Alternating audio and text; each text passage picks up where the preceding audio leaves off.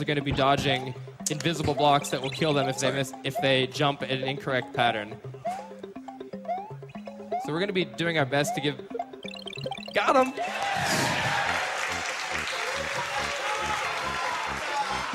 Yatta! Yitta! We're going to be doing our best to give what commentary we can, but uh, sometimes you just got to concentrate.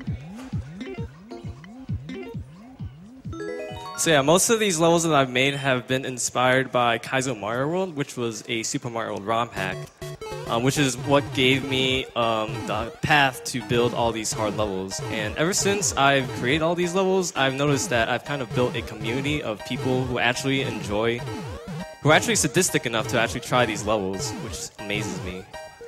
Yeah, eight eight of the ten levels we're gonna play here today were made by Panga, The, the one that I'm on. Inclu- including the one we just played before. Yo, This uh, yo. This level right here is made by uh, Dan Salvato. He was also one of the makers for the blind level race. nice. First try. No, die. High five.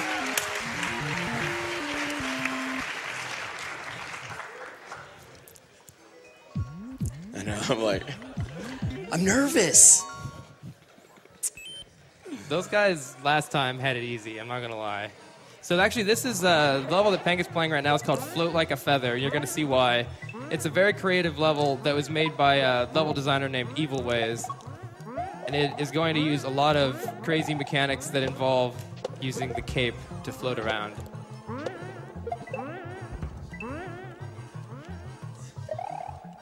Shit. Shoot. Poo.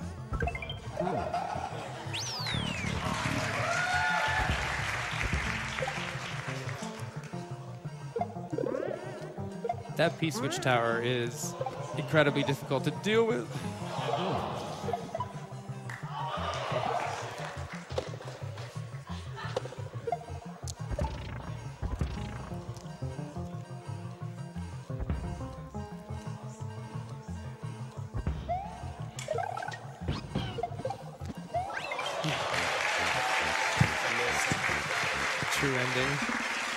Save the Yoshis.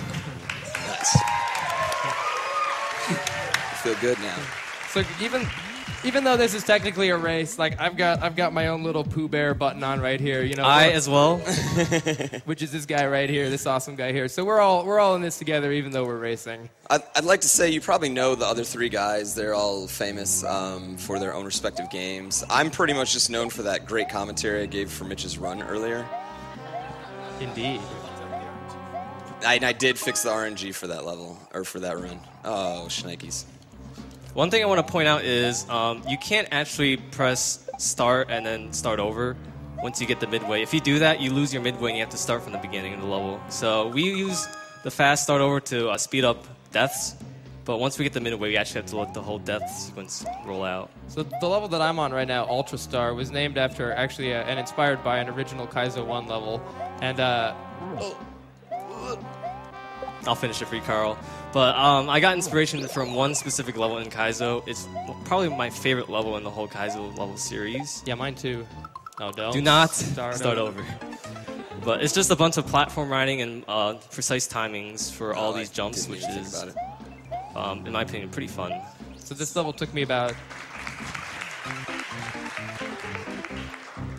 This level took me about three hours to beat, and actually we've ordered the levels uh, in general from easiest to hardest. So we're playing the easiest levels right now. So that should give you an idea of what you're in store for.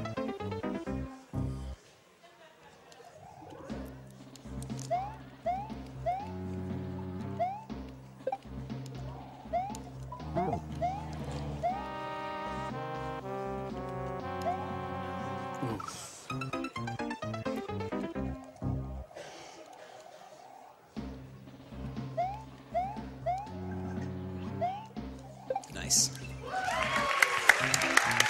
Save the Yoshis. Save the Yoshis. For the record, that level doesn't count if you don't land on Yoshi. You have to replay it, just for the record.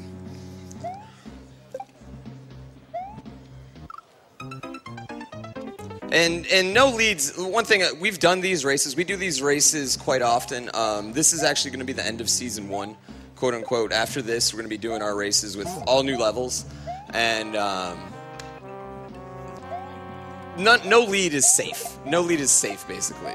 Yeah, for example, you could spend uh, a few few levels. You can spend like one or two tries. Other levels, you can spend like three thousand tries. No. Um, my first time on Ultra Star, it was two and a half hours again. A common theme in these levels is it's basically never over until it's over. It's all good. And often the hardest trick in the levels at the very end. Have to end with a bang. By the way, I want to give a shout out to our guys on the couch right here. Uh, I'm going to send out their Twitch name, Jaku. Nice. Um, over here on the right, we got Triwave ITG Master uh, right here in the middle, and 8-bit video games. Um, all underscores in between that. Over there on the left.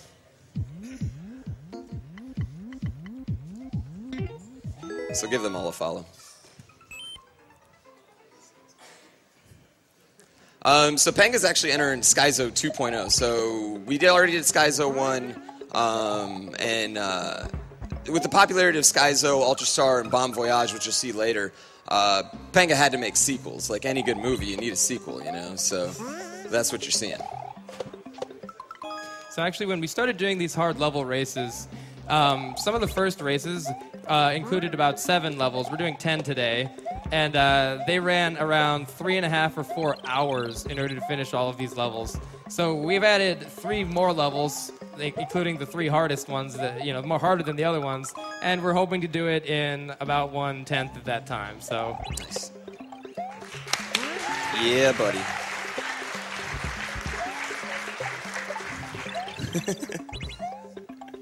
Skyzo 2 has the same theme of constantly hitting P switches in order to keep the timer going.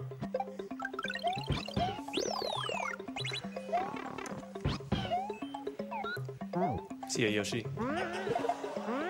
See ya. Mario. See ya, Mario. So that spot is a little bit unpredictable because the bomb can kind of move in two different directions.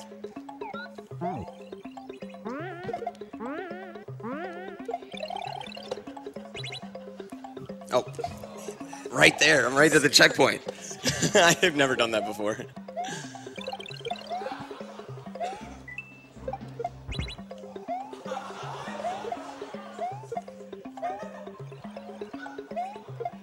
Got him.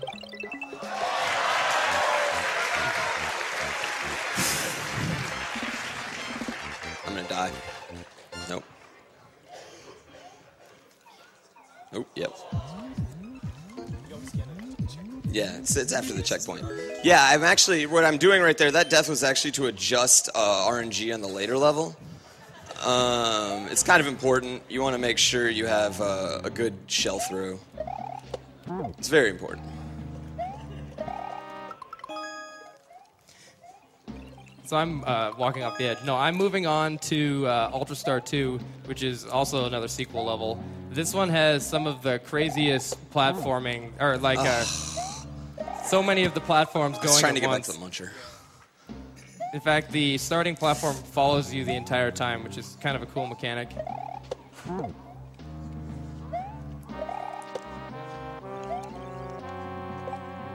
No!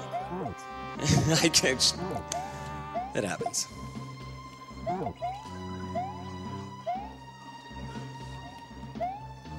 Nope. Luck. Nice. Oop. Dead. That's what I get for the luck uh, there. Um, the karma. Gotta go pretty fast at this ending part here. So pals will only destroy things that are on the screen currently. Yo! Nice. Oh no!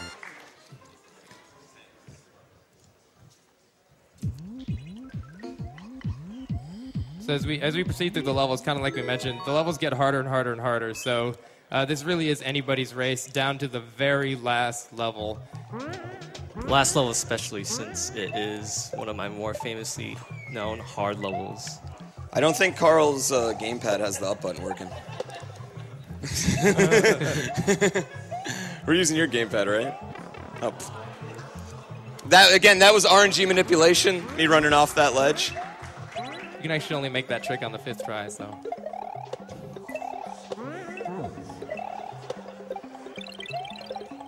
So uh, the level that Panga is playing right now is called Panga Express, and it uh, it exploits this very very fast moving shell in order to carry this what is really just a really long bullet bill launcher. This was actually one of uh, Panga's longest levels to design. I believe it took about 10 hours or so for the design for this one, and you'll see you can do many crazy things. Yatta! oh, thanks, man. We all we all really really enjoy racing together, so this is this is just like another Saturday for us. Oh, I should I should move levels. I was doing that earlier. Yeah, I should just move levels. Oh man.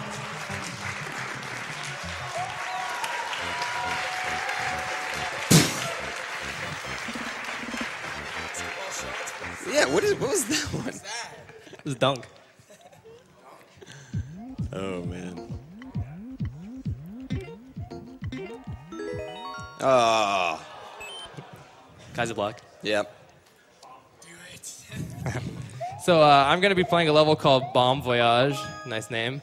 And um, this was actually the level that got me started into these hard levels. Actually, that just um, Kaizo was or uh, Skyzo was the first one that I beat, but Bomb Voyage was the one that it just looked so cool to me. I was like, okay, this is something that I need to figure out how to do. So this is going to use a lot of unique Mario Maker mechanics that you wouldn't be able to do in a lot of these original games.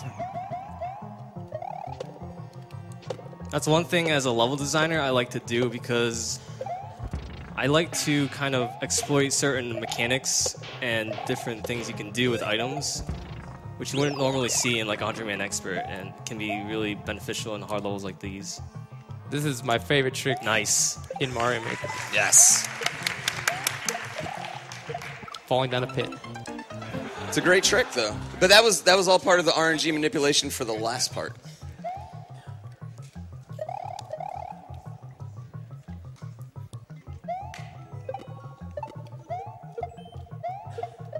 I no.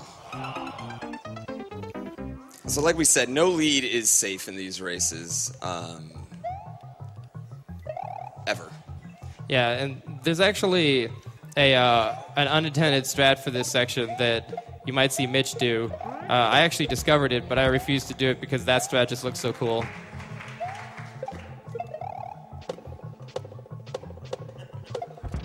Okay, now this end part that Carl's coming up to actually, um, I couldn't do it originally, so I just took Yoshi and jumped him over there and jumped him back. Could not do it the right way. The cheese, as they call it.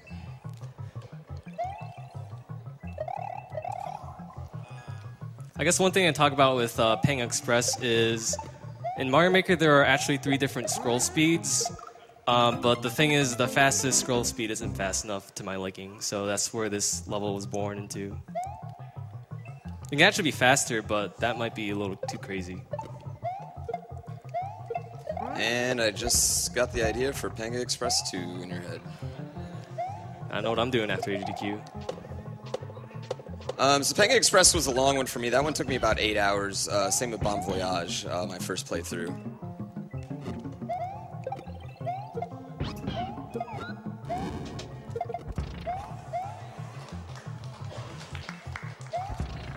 Hardest trick is fitting through the gap at the end.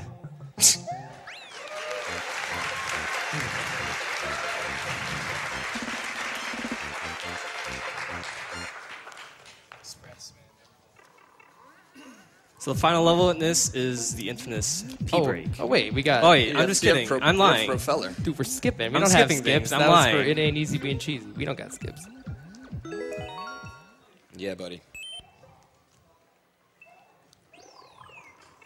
So this is actually uh, the only new Super Mario Bros. themed level you're going to see, and it makes use of the propeller item for a great effect. And we should talk about why we're not going to have a Super Mario Bros. 3 level in this race. Um, It's it's not good in Mario Maker, um, especially for us two Mario 3 runners over here. It's very very slow. The mechanics are completely different. All these games are actually based off the mechanics for New Super Mario Brothers. Um, so Mario World doesn't control like Mario World does on your Super Nintendo. Uh, the same with you know SMB1 uh, Mario.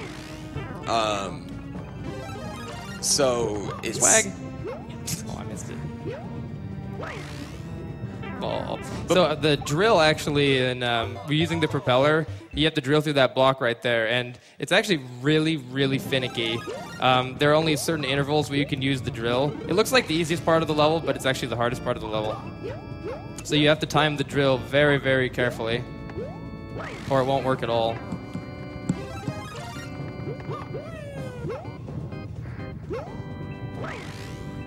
There it is.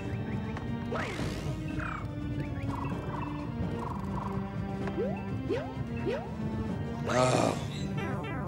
That Oh. jumps so hard.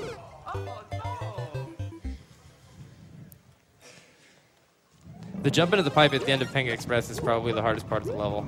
Yeah.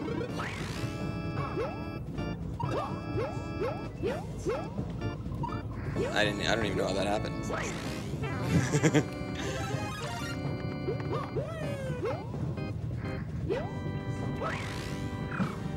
all these avail- all these levels are out there too, just like the blind level race. Uh, most of these have been out for a long, long time. Um, you should definitely check out Panga's levels if you're interested in uh, in Kaizo levels. There's also a lot of great guys out there making great, great Kaizo levels. You know, a lot of people will ask, like, well, why the heck would you play these levels anyway? Like, this doesn't seem like a good thing to do. Why would you ever want to play these? But really, nothing compares to the feeling that you get when you finally do beat one of these levels.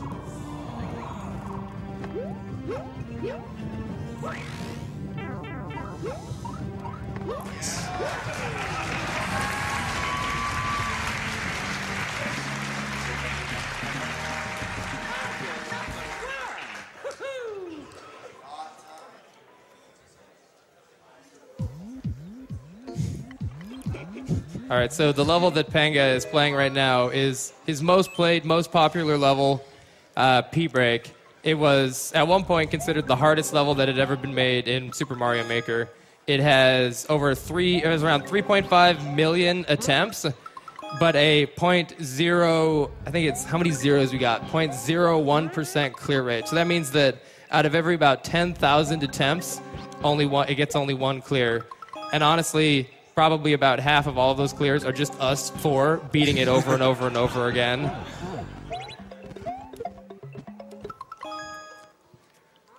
So um, for P break, actually, uh, we kind of skipped over a few of these, but um, it took about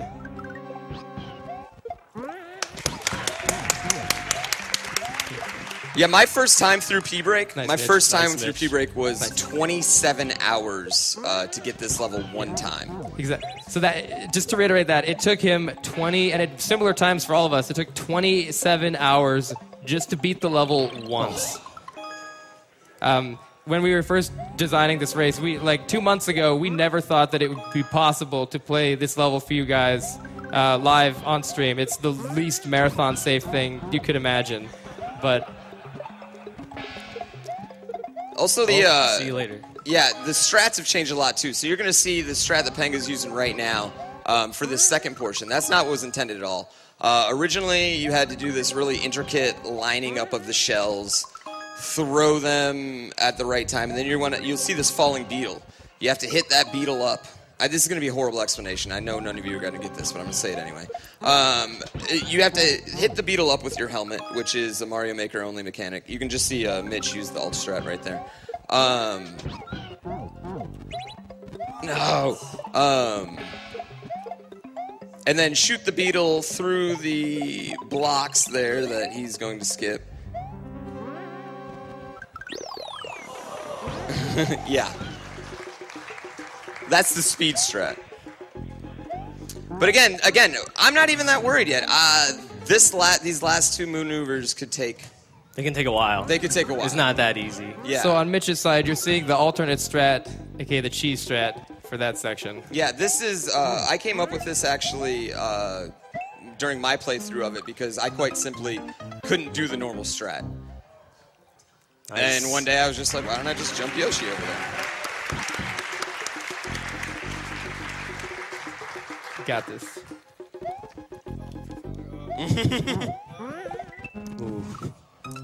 I know now. Now you've you've played Mario 3, you've played Mario Maker, New Soup.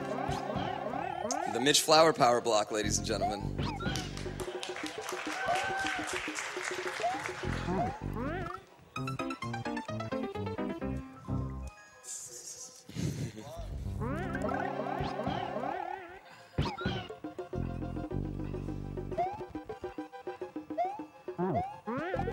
One of the Oh man. one of the things that I really like about Mario Maker is uh, people. No. Oh. That's gonna cost a little time. Did you, just, did you Well. reset the checkpoint? No.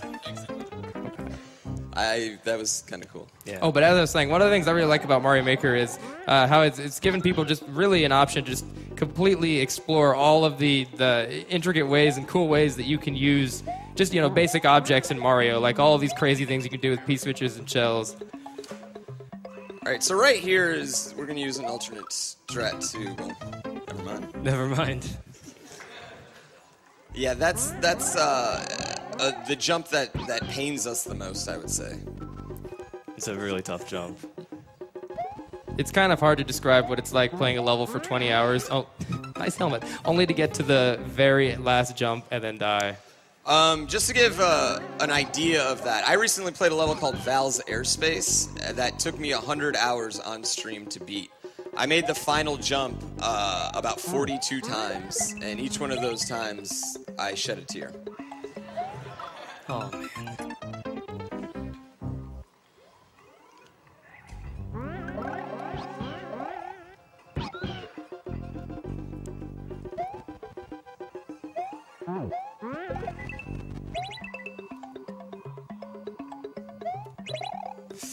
Yeah.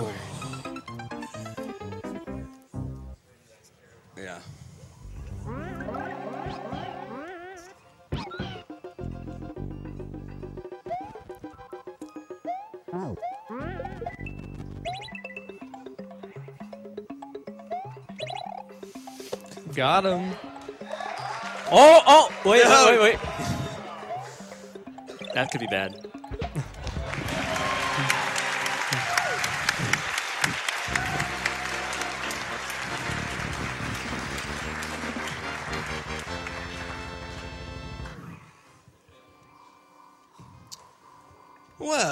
As long as we're here, you know.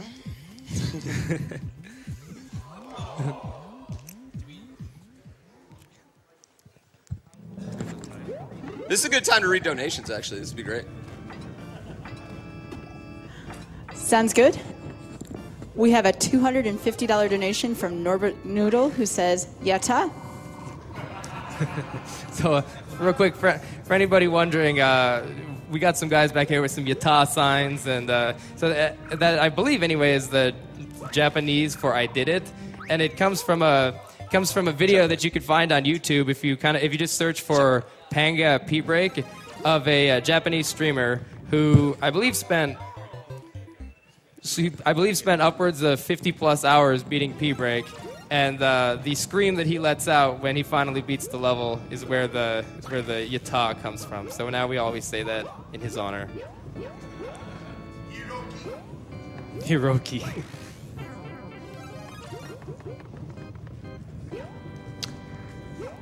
All right, we have a $100 donation from Steve Wang who says, This donation is from Area 51's parents. We challenge all the other parents of online streamers to match our donation.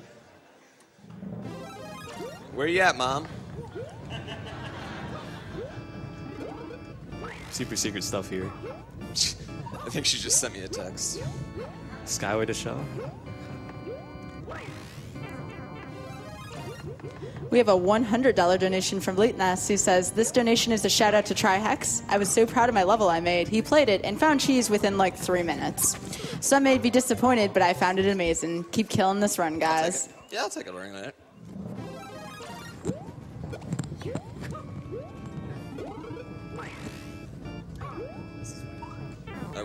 Switch. Switch.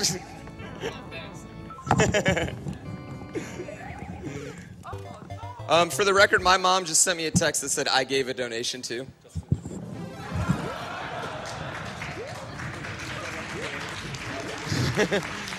she, she, she's yelling at you about it. I, I don't know what name she put it under. Probably Mama Poo or something.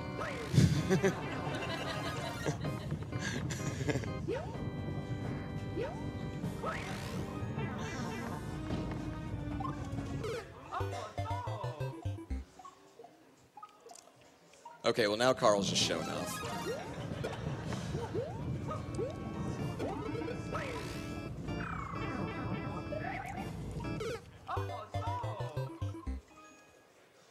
They're- They're hard levels, man. They're hard levels. All right, guys. I, oh,